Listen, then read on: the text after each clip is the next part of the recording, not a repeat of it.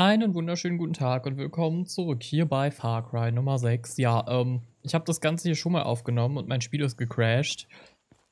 Das ist jetzt ein bisschen schwierig, denn ich weiß nicht, was, äh, wo der letzte Speicherpunkt war.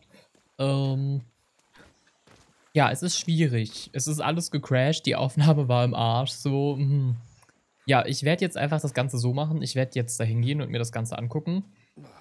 Hier stinkt's erbärmlich.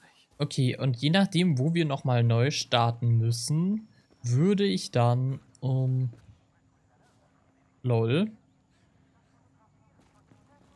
würde ich dann erklären, was ich noch nicht gemacht habe. Würde ich sagen, aber es sieht so aus, als wäre nichts Wichtiges verloren gegangen, sondern nur ein kurzes Gespräch. Das ist nicht schlimm. Ähm, und dieses Mal kann ich auch den anderen Weg nehmen. Also ich probiere ihn zumindest aus. Um, mal schauen, ob ich so auch reinkomme. Sieht aus, als hätten sie die Umgebung gesichert. Denk dran, du musst mir sagen, was du da drin siehst. Wenn ich richtig liege, ist diese Anlage sehr wichtig für die Giftproduktion. Okay, ähm, dann weiß ich Bescheid. Ich schaue einmal kurz. Komme ich hier rein? Kann ich mich hier reinschleichen? Ja, das kann ich. Hm.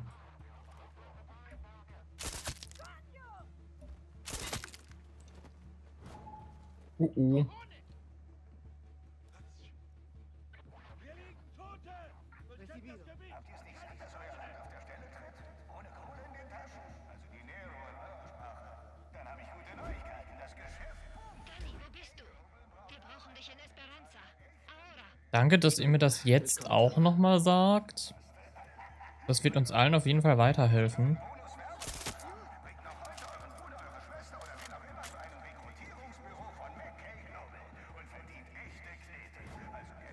Echte Knete, gibt's auch falsche? Das wusste ich noch nicht. War gut zu wissen. Ja, wo bin ich denn? Ach, der, der chillt auf der Treppe, okay. Ja, jetzt chillt da halt keiner mehr, actually. Gut, wir haben jetzt schon alle ausgeschaltet, was ganz lustig ist. Ähm, ich glaube, ich weiß nicht, ob das Spiel damit gerechnet hat. Ähm, und jetzt können wir hier trotzdem noch sprengen, I guess. Also es sieht zumindest so aus. Um, hier komme ich, glaube ich, nicht runter. Das sieht schlecht aus. Ich hoffe, das Spiel crasht nicht wieder. Das wäre ziemlich ungünstig. Ja, danke.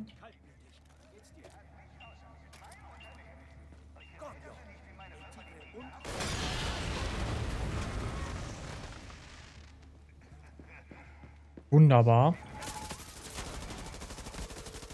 Jelena, ich sehe einen Haufen Raketen in Kisten. Sonst noch was? Ja, sie haben alle dieselbe Markierung. PG-240X. Geh in den Keller. Den Plänen nach solltest du da eine Menge technische Anlagen finden. Okay, ja, beim letzten Mal bin ich tatsächlich mit der Sprengung mit rein. Und, ähm, ja, etwas schwierig, sagen wir es, wie es ist. Tschüssi. Was ist denn das hier? Jelena, Ich bin hier, Danny. du hattest recht. Sieht aus, als würden McKays Leute hier die Chemiewaffen herstellen. Die Bomben. Pinga, dann müssen wir den Laden zerstören. Verbinde mich mit irgendeinem Computer. Ich überlaste das System. Bin schon dabei. Okay, ich habe jetzt mal kurz nicht auf laut gestellt, weil ich hier dabei war, alle zu killen. Es ist immer ein bisschen schwierig, wenn man noch zu, gleichzeitig zugelabert wird. Jetzt drücke ich auf laut und jetzt verbinde ich und ich hoffe, es hängt sich nicht gleich wieder auf.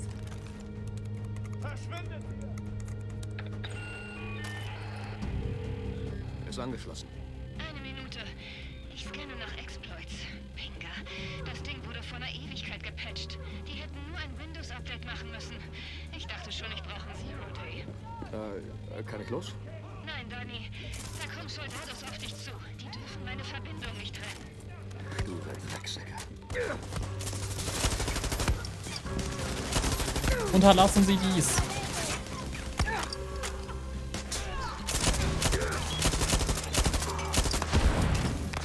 Danny, finde den manuellen Überbrückungsschalter und zieh dran.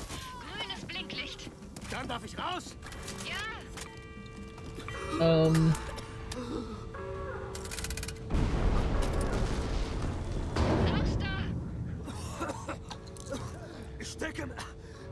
Kontrollraum fest. Verdammt!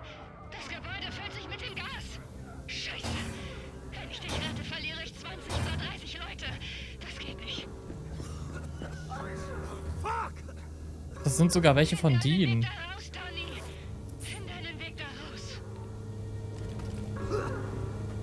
Ja, ähm... Leichter gesagt als getan. Ich stelle schon mal auf leise, dann hört ihr mich wieder besser.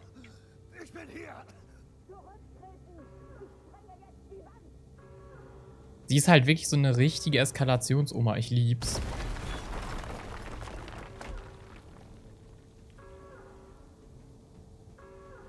Sie ist halt auch so, also sie ist halt eine richtig krasse Legende. Da kann man halt sagen, was man will.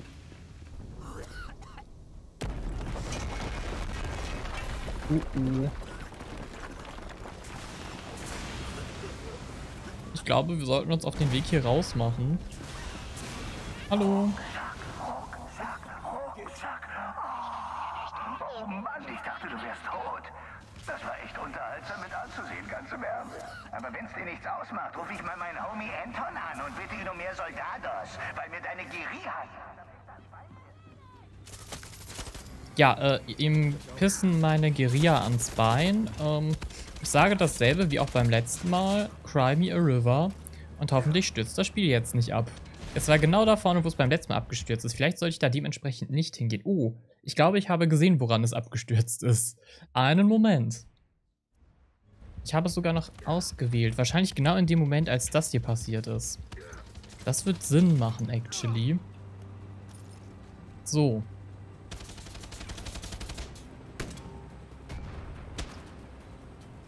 Okay, ich sollte mal nachladen.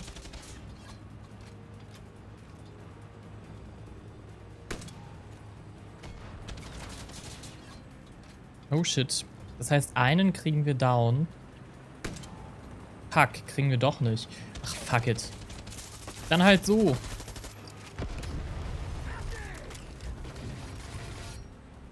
Ähm, ja, aber jetzt wissen wir immerhin schon mal, schon mal woran ein, äh, das letzte Mal der PC abgestürzt ist, nämlich als dieses eine Ding explodiert ist. Mann, Glück gehabt. Arsch. So.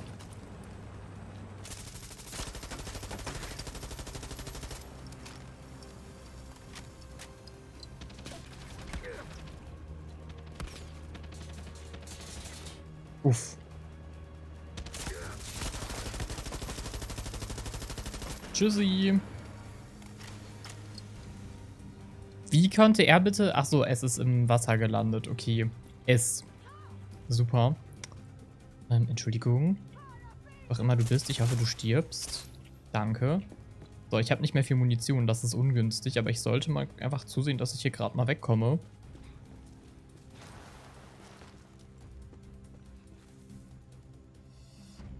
Wir kriegen bestimmt einen Anruf. Ich stelle schon mal auf laut.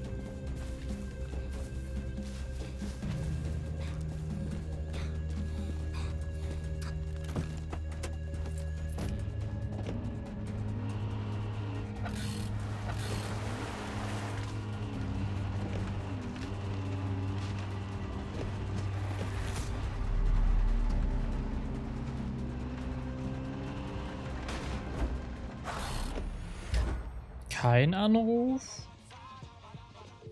Doch. Bin draußen. Danny, du musst wissen, ich hatte keine Ahnung, dass die Fabrik explodiert. Und ich konnte nicht so viele von meinen Leuten riskieren. Du hast getan, was du tun musstest. Wenn es darum geht, ein Leben für das Leben vieler zu opfern. Wenn es dich beruhigt, Clara hätte dasselbe getan. Ihr seid euch ähnlich, als du denkst. Naja, weiter im Text. Wie geil ist es eigentlich, dass wir gerade Castillo die haben, chemische Waffen zu bauen? Das ist ein heftiger Schlag für das Regime. Also können sie keine der Bomben mehr bauen, die sie beim Hotel auf uns geworfen haben. Sie haben nur noch, was schon produziert war. Es gibt immer neue Ziele. Wenn es dir nichts ausmacht, genieße ich für einen Moment mein Leben. Danny, du wirst es nicht glauben, aber bevor wir McKay am Hafen angegriffen haben, hat sich Clara was von mir gewünscht. Und sie hat irgendwie recht. Das habe ich nicht kommen sehen. Wir haben die Chance, was noch Größeres zu machen. Wenn wir Castillos Ölreserven in der Leste zerstören, wird seine Armee auf der ganzen Insel Schwierigkeiten bekommen. Klingt gar nicht so schlecht. Nimm dir die roten Tanks in La Jolla vor. Ein paar Guerilleros werden dir helfen. Ich schicke ihnen Fotos, damit sie wissen, was sie angreifen sollen. Vielen Dank. Alles klar, ja, das war actually wieder nicht so schlau.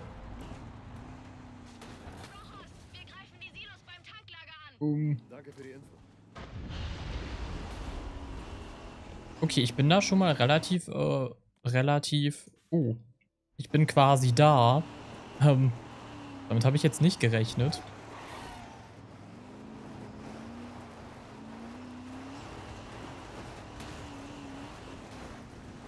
Dani, ein paar unserer Leute stürmen die Tanks beim Strand. Verstanden.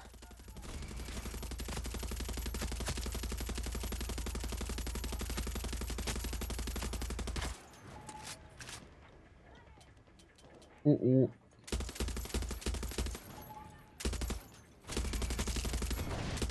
Oh, das war einer von uns. Wunderbar. Ich glaube, das war's schon, oder? Das Leben in diesem Land ist schwer. Es ist ein wütendes Land. Überall Elend, Menschen leiden, alle sind richtig arm. Jeder steht vor harten Entscheidungen über Leben und Tod. Was, wenn ich dir sage, dass die Insel besser sein könnte? Liest du mir gerade eine von Castillos Reden vor? Nein, ernsthaft. Meine Urgroßeltern hatten ein brutales Leben. Sie flohen von einem Land in ein anderes und dort haben sie etwas aus sich gemacht. Ihren Reichtum vererbten sie der nächsten Generation, meinen Eltern. Die bauten darauf auf und vererbten mir alles. Okay, ich soll also in ein anderes Land ziehen. Das würde ein paar dringende Probleme lösen, aber nein, nein. Du kannst in Yara bleiben. Aber Castillo will ja etwas verändern, wirklich. Ich rede täglich mit ihm. Er Ähm. den Wandel so schnell wie du. Manchmal ist es besser, mit der Strömung zu schwimmen. Ich soll die Verhaftungen einfach akzeptieren? Das Paria-System? Die Hinrichtungen? Jedes moderne Land in der Weltgeschichte hatte auch dunkle Stunden. Heutzutage ist der Unterschied nur, dass jeder es filmen und streamen kann, damit sich die ganze Welt darüber aufregt. Sogar meine Heimat, Kanada. Recherchier mal, was die mit der indigenen Bevölkerung gemacht haben. Ja, das werde ich gleich tun. Erstmal muss ich kurz woanders hinfahren. Und das Fracking Rede so viel du willst, aber du bist nichts als ein verdammter Eindringling. Versuch noch weiter die harte Tour. Sieh, wohin dich das in ein paar Generationen bringt. Denk darüber nach, was ich dir gesagt habe. Uff, so ein Schwätzer. Moment, ich muss einmal kurz auf leise drücken. Und jetzt muss ich wieder den Sitz tauschen. Es ist so, es ist so kompliziert, dass äh, genau das der Shortcut ist. Ohne Witz, ich verstehe nicht, wie das überhaupt ein Shortcut sein kann. Ich bin verwirrt. Gut, ähm... Hier geht gerade auch die Party. Ich überfahre die einfach. Habe ich gerade so beschlossen.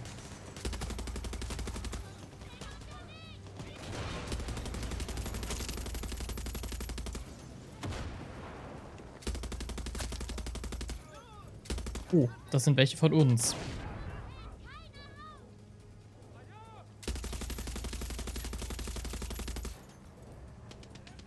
Ähm, eventuell sollte ich rechtzeitig hier von hier verschwinden. Oh, ich habe jemanden von uns getroffen.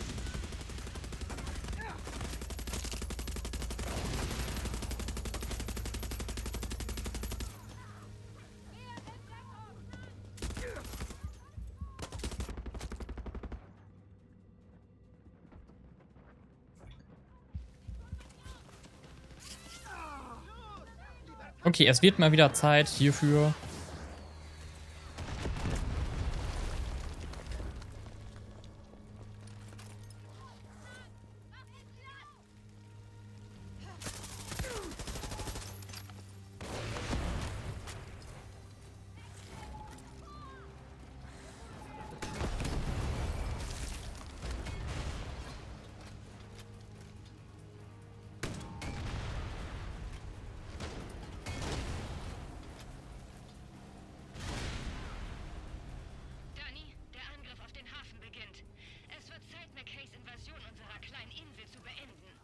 Lassen wir den Yankee dafür bezahlen, was er uns angetan hat. Und Castillos Herrschaft über Leste ist vorbei.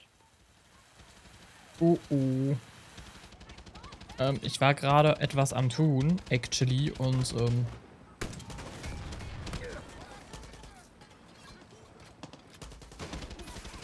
Uff, hier ist ja gerade komplette Eskalation. Mist, eine meiner Raketen war umsonst.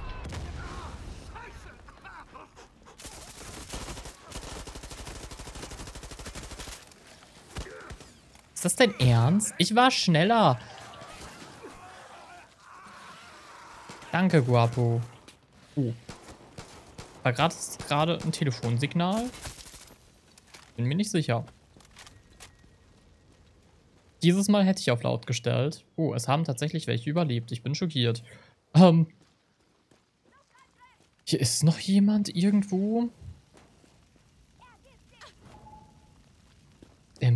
Unterlassen Sie dies? So. Oh oh.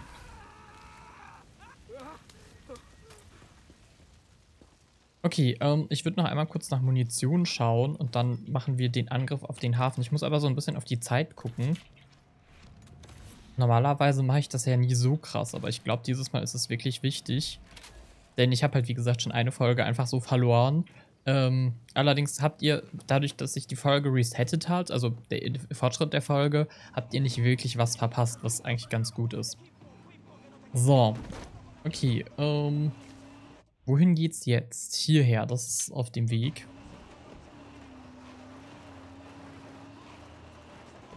Hier ist gerade wirklich einfach komplette Eskalation auf der Insel, kann man nicht anders sagen. Och, wie anstrengend. Kann ich hier einfach außen rumfahren? Ich glaube schon, oder? Was für ein geiler Umweg. Oh, das sieht ja super aus würde ich sagen. Ähm, oh, ich bin falsch gefahren. Upsi. Ich habe mich ein bisschen zu sehr blenden lassen von der Schönheit von dem Ganzen hier. Wir fallen mal so ein bisschen von hinten ein. Hola. Was geht?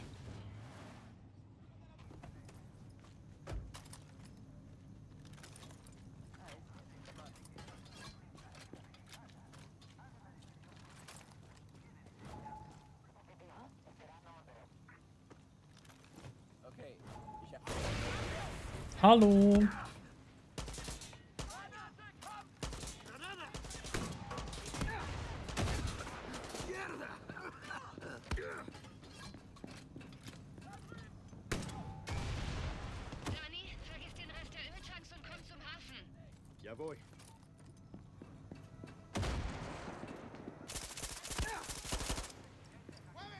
Ein Glück steht mein Auto direkt hier. Oh, oh.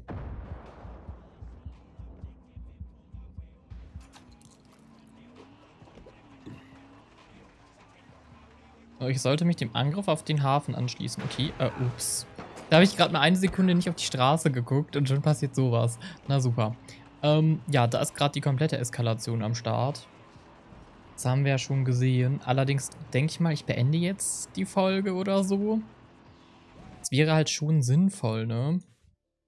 Und dann schauen wir uns in der nächsten Folge an, was uns am Hafen erwartet. Ich denke, das wird auch nochmal die komplette Eskalation. Über eine Bewertung und Kommentar freue ich mich wie immer sehr und bis zur nächsten Folge.